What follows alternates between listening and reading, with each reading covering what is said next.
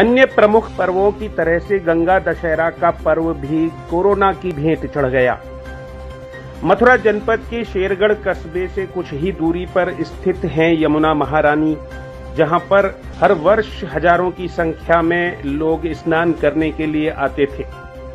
लेकिन इस बार ये देखने को नहीं मिला।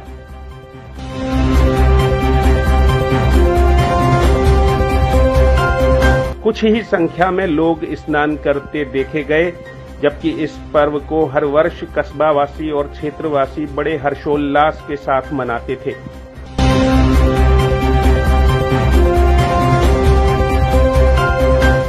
इस बार गंगा दशहरा पर चहल पहल भी काफ़ी कम नज़र आई, कुछ ही लोग सड़क पर चलते हुए दिखाई दिए।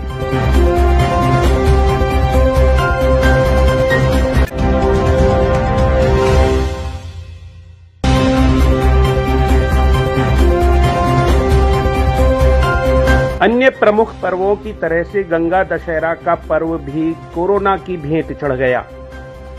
मथुरा जनपद के शेरगढ़ कस्बे से कुछ ही दूरी पर स्थित है यमुना महारानी, जहाँ पर हर वर्ष हज़ारों की संख्या में लोग स्नान करने के लिए आते थे।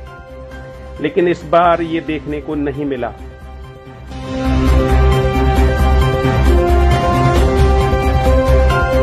कुछ ही संख्या में लोग स्नान करते देखे गए, जबकि इस पर्व को हर वर्ष कस्बावासी और क्षेत्रवासी बड़े हर्षोल्लास के साथ मनाते थे।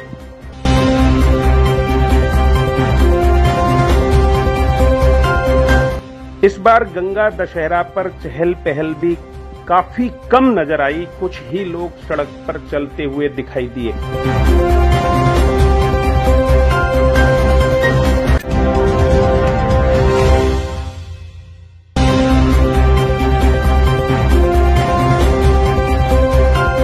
अन्य प्रमुख पर्वों की तरह से गंगा दशहरा का पर्व भी कोरोना की भेंट चढ़ गया।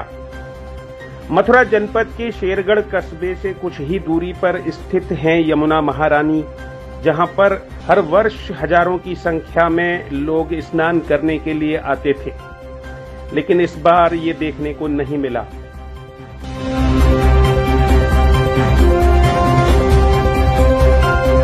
कुछ ही संख्या में लोग स्नान करते देखे गए, जबकि इस पर्व को हर वर्ष कस्बावासी और क्षेत्रवासी बड़े हर्षोल्लास के साथ मनाते थे।